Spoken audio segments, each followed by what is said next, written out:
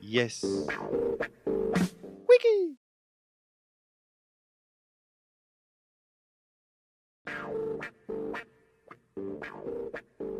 Moi, c'est Thomas Parizeau. J'habite dans la Drôme depuis deux ans maintenant. J'ai vécu cinq ans en Angleterre et une vingtaine d'années du côté de Bordeaux. Euh, Mon activité qui me rémunère, c'est écrire du logiciel. J'écris essentiellement du logiciel pour du service public ou des logiciels libres. Et je fais pas mal de bénévolat et j'ai une activité, j'ai un rêve de devenir boulanger. Euh, avec euh, du pain, enfin voilà, faire du pain au levain et mm, pas forcément pour gagner ma vie, mais en me disant tiens, ce serait une autre activité marrante. Voilà, donc je m'intéresse pas mal au circuit court et, et à la question de l'eau aussi. Eh ben, ma relation avec YesWiki, c'est un peu un hasard parce que je connaissais de loin Florent quand j'ai débarqué. J'étais sur Twitter, je suis allé sur Mastodon. Euh, sur Mastodon, il était sur la même instance que moi. J'ai vu qu'il était aussi dans la Drôme et du coup, je l'ai contacté en lui disant Hey, j'ai déménagé pas loin de chez toi. Et c'est là où il m'a dit Ah oui, mais j'habitais avant dans la Drôme. J'ai pas mis à jour mon profil, mais c'est toujours le cas. Euh, et je sais pas, quelques mois après, il m'a recontacté en me disant hey, euh, d'ailleurs, j'y repense maintenant que c'est pas loin de chez toi. On fait un dev sprint Wiki. Est-ce que tu veux venir? C'était l'an dernier. Du coup, je me suis dit, bah, tiens, c'est l'occasion. Euh, j'avais envie de rencontrer des gens et c'était l'occasion de venir. Je connaissais un peu YesWiki de loin, de nom. Je ne l'avais jamais utilisé. Du coup, quand j'ai débarqué l'an dernier, je connaissais, en fait, je connaissais pas. Et cette année, je suis revenu parce que j'avais commencé à travailler sur un module qui me plaisait. Euh, j'ai amené justement toute ma réflexion sur un module de mise en page de documents imprimables. Et je me suis pris au jeu. Je me suis dit, tiens, c'est l'occasion de passer trois jours à, mettre la tête dedans et, et, à avancer et à apporter un truc où je vois d'une année sur l'autre l'effet que ça a eu. C'est ça. Je, je fais c'est un peu, je, vois un peu ça comme de l'escalade, quoi. C'est euh, bras droit, bras gauche. Euh, il y a sur le sujet de l'impression numérique, c'est, c'est un truc que je qui est un peu ma marotte depuis longtemps et je teste des, nouvelles idées, des nouveaux projets en fonction des projets.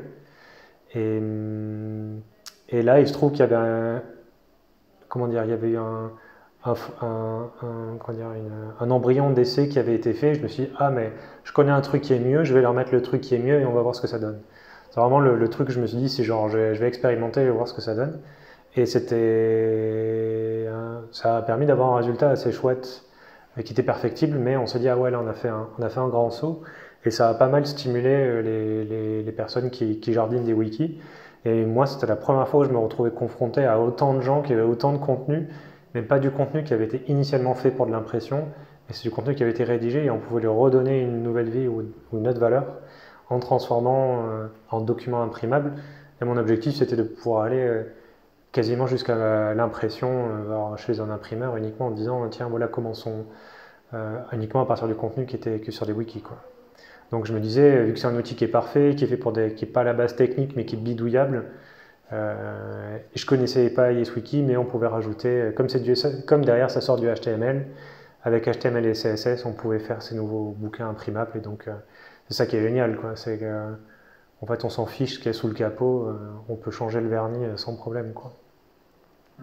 Donc, moi, je suis venu m'amuser sur ça parce que je connaissais pas YesWiki. Et, j'aime bien faire des, faire des, trucs pour des gens qui ont qui sont pas justement techniques à la base parce que je trouve que c'est les personnes qui presque savent le plus où ils coûtent le mieux, là où on place le peu de temps ou de ressources qu'on a quoi. Et ça a été un bon, ça a été un bon test quoi. Ça a été une graine et puis je vois qu'en en un an le, la, tige a bien poussé quoi. Sanson apparaît, il y a eu une première mission qui s'était déclenchée parce qu'il y avait besoin d'améliorer l'outil, et, en fait, euh, et une, et une deuxième, et, je sens qu'il y a un truc qui est, qui, est, intéressant et ce qui bénéficie à toute la communauté. Quoi. Un client qui paye, ça va dans le pot de l'open source, tout le monde en bénéficie, et donc euh, ça, ça, étend, euh, ça étend les possibles, et en même temps, comme il y a des personnes variées, d'univers variés et de bagages techniques variés qui viennent, eh ben, suffit de montrer à une personne et deux jours après, on a, mais euh, moi, mon cas d'usage, c'est celui-là. Et donc, on a, bah, c'est comme, comme, comme dans le jardin. Quoi. Si on fait de la monoculture, c'est chiant. Si c'est varié, ben, du coup, on a un résultat. Euh, l'intercommunication entre les différents éléments euh, enrichit tout. Quoi. L'an dernier, quand je suis venu, j'étais vraiment dedans, j'avais la tête dedans, j'ai pas forcément trop trop parlé, et je suis resté dans, des fois dans mon coin et, tout. Et à la fin, euh, à la fin, quand il y a un truc qui marchait, c'était genre ah il a fait ça pendant tout ce temps. En fait, c'était ça qu'il était en train de faire, donc c'était rigolo. Il y avait un petit peu ce truc de genre mais qu'est-ce qu'il est venu faire? Et on m'a jamais emmerdé pour ça. Et en même temps, à la fin, quand il y a le truc qui était, qui était sorti, c'était genre ah ouais ok d'accord. Bon, c'était c'était marrant. Et moi aussi, j'étais content d'être arrivé euh, jusqu'à ce stade-là quoi. C'était c'était assez marrant. Et j'aime bien aussi, euh, je pense, parcourir, aller dans des communautés différentes et pas forcément et aussi pour varier, aérer, aérer l'esprit, quoi. Voir d'autres trucs, voir d'autres pratiques, voir d'autres réflexions. Et je vois moi-même le parcours de mes réflexions qui change. Entre l'an dernier, j'aurais pas forcément prêté une oreille à tout ce qui était habitat participatif et tout. Et maintenant, je commence à me poser des questions sur ces sujets-là, habitat léger, habitat participatif. Et donc, du coup, euh, bah, ça fait aussi des connexions. Je me dis, ah, tiens, du coup, je serais content de voir leur wiki pour voir euh, ce qu'il y a dessus et, voir euh, si leur besoin en plus était d'imprimer des documents bah tiens, je serais curieux de voir c'est quoi les documents qui seraient prêts à sortir. Donc pareil, ça vient enrichir le travail technique que, je fais derrière pour, euh, pour créer des documents imprimables. Quoi. Ce sera ouais, beaucoup de ce sera ma sueur qui sera téléchargée derrière. Donc euh, c'est un peu ça. C'est vraiment un peu comme une auberge espagnole, quoi. C'est on, arrive, on fait son truc et voir. je ne sens pas une attente de productivité ou autre. Ou même des fois, ce que je trouve rigolo, c'est qu'au détour d'une conversation, je, demande, je pose une question, je me dis, mais ce truc-là, j'avais l'impression qu'on pouvait le faire avec le wiki. Elle me dit, ah non, non, j'utilise tel bidouille. Et je me dis, ah, la personne bidouille, donc elle tourne autour du problème. Moi, je vois le problème et je me dis, tiens, je vais aller regarder dans les entrailles du moteur et voir euh, s'il n'y a pas un changement à faire. Et, des fois, c'est surprenant de voir euh, un souci sur lequel. Euh, un, gain, un gain immédiat, vraiment un caillou dans la chaussure. Il y a un caillou dans la chaussure, on se dit, tout le monde a pris l'habitude de marcher avec ce caillou dans la chaussure. Et je me dis, bah non, en fait, là, il suffirait de, hop, une petite, euh, une petite technique pour appiécer euh, la semelle. Et en fait, euh, ça se décolle plus. Et en fait, là, ah, ça soulage vachement. Et il y a un truc qui redevient cohérent alors qu'on s'était un peu endormi dessus. Quoi. Donc j'aime bien faire ça et j'aime bien amener des trucs que je fais ailleurs avec d'autres personnes. Cette histoire d'impression numérique, je l'avais fait avec des amis qui sont designers et qui ont bossé dessus, que j'ai rencontré par hasard en filant un coup de main à quelqu'un qui me posait une question sur JavaScript sur Internet. Et donc euh, voilà, quoi, c'est vraiment toute une histoire de, de, ouais, de rebond. C'est vraiment des rebonds, euh, tout ce qui se passe. Quoi. c'est un peu comme des liens hypertextes dans une page. Quand on finit dans une impasse, effectivement, on finit par euh, traîner dans son jus. Et quand on arrive à avoir hop, une piste vers autre chose, et ben, c'est, je sais pas, pour moi, il y a une histoire de l'esprit qui reste malléable et on se nourrit. Euh, et, justement, c'est ça qui est rigolo parce que tu disais, on est bien accueilli. Et on peut arriver à rien savoir et on peut repartir avec des trucs. Et ces trucs-là, on va les embarquer là où on va. Donc au final, euh, on, est déjà en train de redonner quelque chose parce qu'on l'amène ailleurs en fait. Du coup, euh, moi je trouve ça chouette. ce que tu fais avec les vidéos et tout, tu pourrais venir en étant juste en mode je passe les vacances et puis dans la piscine, ça poserait aucun problème à personne. Pas du tout. Je m'en sers, euh, je m'en sers, euh, je m'en sers deux fois par an au, au Dev Sprint. Euh, mais c'est rigolo parce qu'au début, je me disais, l'usage, non, pas trop. Et en fait, maintenant, à chaque fois que je reviens, bah, du coup, j'apprends à l'utiliser un peu plus. Et je me dis des fois, alors moi, je suis adepte de solutions minimalistes où j'ai même pas de logiciel derrière.